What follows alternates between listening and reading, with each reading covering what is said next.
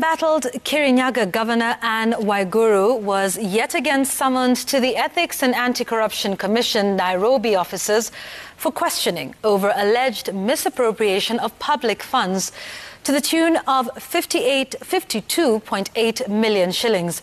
Waiguru, however, blamed unnamed political detractors for using the anti-graft body to intimidate her due to her latest political stand on the 2022 State House succession race. Francis Gachuri reports. The Kirinyaga governor yet again walked in and out of the revolving door at Integrity Center following summons by the anti-corruption body EACC. Solidarity. She had been called in over a questionable allocation of 52.8 million shillings to settle a pending bill approved by the county assembly and her cabinet.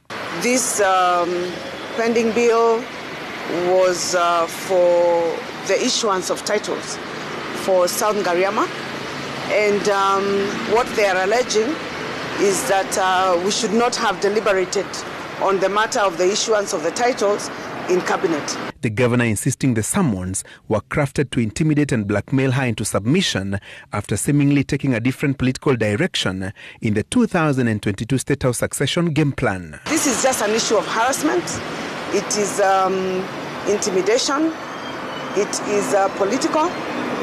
And um, they wanted this picture of uh, you people here and me here because of politics the same people who are behind my impeachment.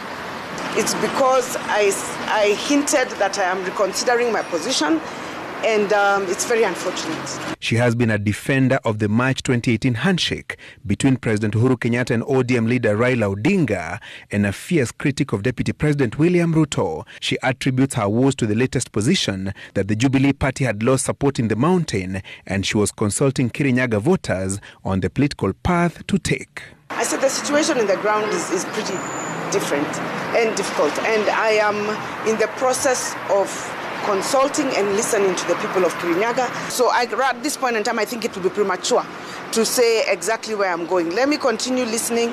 Let's continue talking to other people, other leaders, and then we will uh, decide on our political move. The conspicuous presence of Lugari lawmaker Ayub Savula. We are quoting Anne Waiguru as ANC. I'm here as the deputy party leader. And other Amani National Congress officials at Integrity Center raising attention. We are quoting her. That's why we are here. You have to quote a girl. Pole pole pole pole pole pole pole pole. That's why you are standing in solidarity with her as ANC. Don't tell us vitu ya Ruto. Some political pandits have linked Waigoro with a likely shift to Ruto's UDA. However, on 25th of May this year, she met ANC leader Musalia Mudavadi at his Lavington offices. Her political destination, a guarded secret. Elections are, are 11 months away. We have political deadlines, and those political deadlines require that by certain times you should have announced your seat, by certain times you should have announced your party.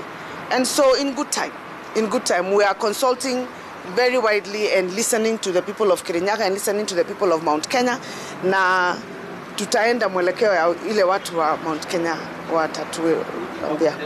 A source at EACC told Citizen TV that the commission has recommended prosecution of Waiguru over a 10.63 million shillings imprest allegedly collected for a foreign trip that never materialized. Francis Gachuri, Citizen TV.